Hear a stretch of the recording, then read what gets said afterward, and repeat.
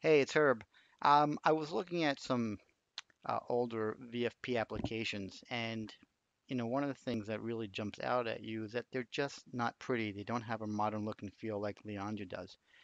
What I wanted to do is create an application, a desktop application that you can easily confuse as being a web browser application.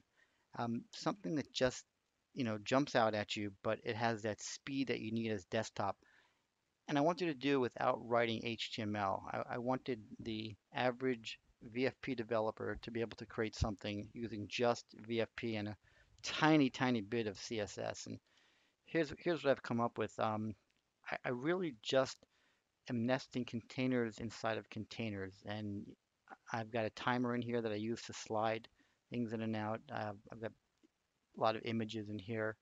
Um, got all different panels. And, I, and I'll show you what that looks like because I think it uh, came out pretty pretty nice. So let me show you. Here's the application, and I've got a top bar up here, and see a little hamburger thing there? That lets the app slide in and out. And here you can have navigation, and you could put you know whatever you want in there.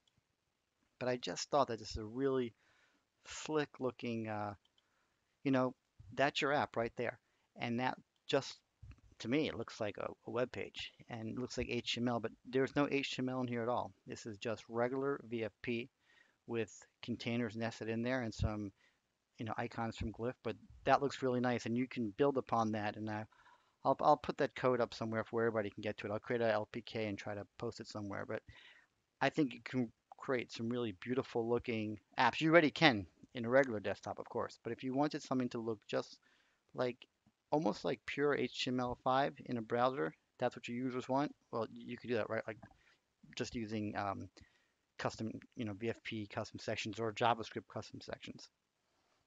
All right, I hope you enjoy.